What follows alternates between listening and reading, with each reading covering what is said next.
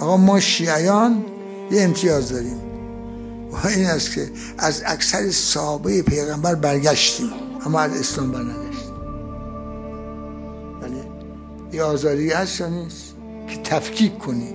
تو آقازاده آقا پسر من آخون بدیدی دیگه چرا با اسلام برواختدی چرا ریشه خودت می‌زنی؟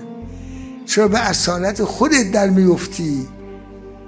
خب ما که دیدیم که بله مگه ما سالها اسلام نیستیم که میگیم اللهم خص انت اول ظالم به لعن منی.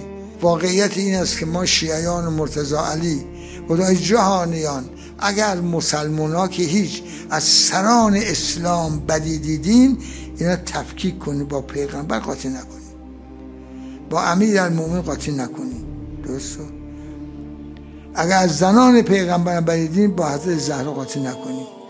هیچ مشکلی نیست که بگی اللهم لن اول ظالم ظلم حق محمد و آل محمد. و آخر تابع له علی ذالک تا آزادگی فکر داده بشه.